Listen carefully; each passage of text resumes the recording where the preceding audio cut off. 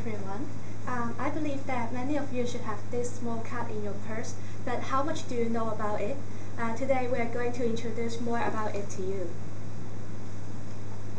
So uh, since the Stone Age, people have been using different forms of money uh, to exchange values.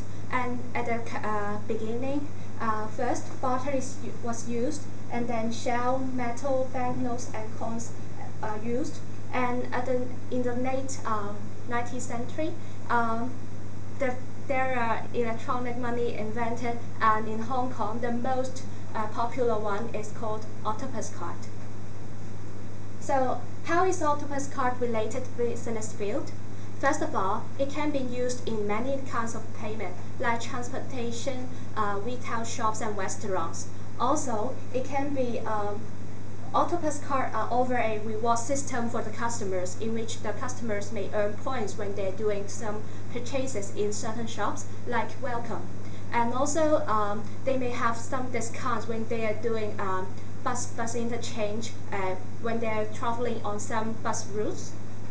And then there are also different kinds of uh, form, uh, different forms of uh, the octopus card. Um, there are some uh, smaller size uh, octopus card and there are some accessory like and it gives a lot of business to many of the company to decide uh, different forms of uh, octopus card for the OHL. So octopus cards is also related to the society. Uh, first of all, it can be used for the attendance record for schools or some offices. It can be also used as the identification for access at schools and buildings. Uh, octopus cards can also be used for non-business payment. Like uh, if you want to uh, donate some money in the flag selling, you can set the amount at the uh, reader and then you can transfer your money there. Let me talk about the impact doing for using the Octopus card. For using Octopus card, company can and enjoy something which is reducing time and the cost to uh, count the coins and exchange the coins into the banknotes in the bank. Also, when they want to use Octopus card for accept any payment, they can and just counting the balance easier because they just click the uh, button to find the final balance is okay. But they still have some negative effects for using Octopus card because of using Octopus card to count the payments, they need to use their machine to record and then they go to the main office of the Octopus card and then to uh, record all transactions. Also, as they are paying the exact value do using Octopus card, no extra tips are paid. It is much important in the catering industry. Also, for the card users, they also have some impacts on them.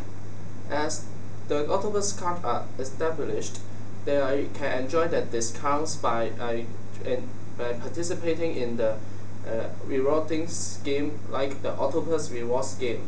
Also, they are convenient as they can use in many places, but not only for buying things. For like another thing uh, introduced by Kathleen before. Also, they are efficient as they are using the touchless uh, transaction, they can have the instant payment and also they need not to pick out their Octopus card every time for any if places which using the Octopus card. But for the negative if view, the individuals who, who use the Octopus card may think that they are not using the real money, therefore they seldom check their balance for each payment. Also, for the Octopus card users, when they go to the uh, um, machine and then charging up or uh, payment, they may have some deduction error due to the uh, fault of machine. Therefore, the uh, money deducted may not be the same as the the actual money they paid, but deduct extra money.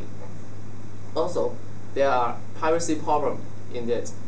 As they join the reward scheme in uh, organized by the Octopus card, they may have the tries, but the Octopus company may can tried their customers' buying habits in it. Therefore, they can trace them in order to, make something to invade their piracy. So let me talk about more. Uh, let me talk more about the technology of Octopus to you. Uh, first of all, um, Octopus card use RFID technologies, which which is also known as radio frequency identification, and it uses Sony uh, 13.56 megahertz FeliCa RFID chips, and it uses long-standard system for RFID. Um, for Octopus card, it uh, needs touchless transaction. That means you don't have to exactly put your um, Octopus card on the reader. Also for the uh, transaction transmission, um, it uses the frame relay LI area network to the MTR's quarter. That means the uh, reader has to be returned to the main office every day. About, after talking about the Octopus card technology used, I also want to talk about the differences between the Octopus card and, and other kind of electronic money. We have divided into three types. For the data transmission rates, uh, the Octopus cards are transmit 221 kilobits per second, while the other Contact Smart card, for example, like Mondex and Visa Cash, can only transmit 9.6 kilobits per second. On the other hand, for the card storage capacity, Octopus cards can store 64 kilobytes, but for the traditional magnetic stripe cards, they only stored 125 bytes, which is about uh, five one or over 500 times for the that Octopus card does. Uh, also, for the Octopus card, they use the brand new technology as before that there are no similar type of uh, chips or other system can be used before. Therefore, they must invent it for another new type of technology. But after the Octopus card has been established, because it is so common for use and become more popular, it become a trend for using this kind of touchless electronic money such that it as the model of another kind of electronic money in other world, in other parts of the world.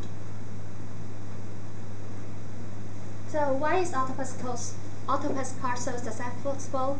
Uh, first of all, uh, the Hong Kong people's adaptability contributed contributed contributed a lot into it.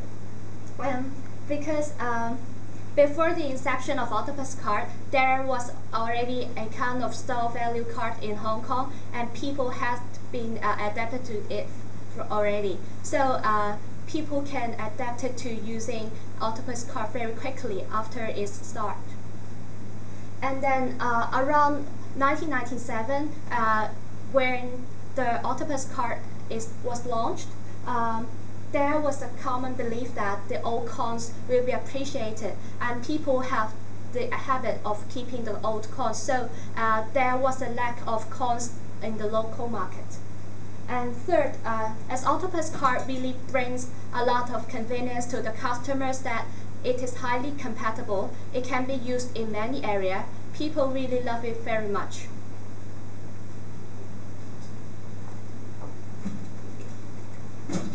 After talking about the Octopus card's current situation and its past, let me talk about what they will develop when and uh, Octopus card system still development for our point of views, I, we think that the Octopus card may be used in the online payment.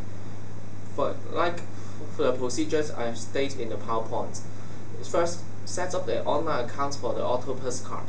Then we go to the on online shops to buy things and then use Octopus account to pay this kind of subject, this kind of objects.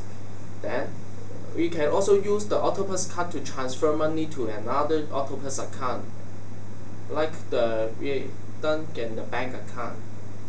Also, we can have some combination with other kind of electronic money systems. For example, when we combine with the credit cards, we can allow cash transaction by credits and then and clear the credits by monthly. Also, it allows the withdrawal of money in the from the Octopus card, which is like similar to the uh, uh, what we have done in the ATM. Uh, besides, we think that uh, we can also add some uh, personal information to the Octopus card. But before this, we can we should have uh, more security level uh, for Octopus card. Uh, to doing so, we may to doing so. To do so, we may add some fingerprint information into the card. So we may check the fingerprint when we are extracting some important information from the card. Um, so that it, we can prevent the misuse of Octopus card by the others when we miss the card. So that's the end of our presentation. Thank you.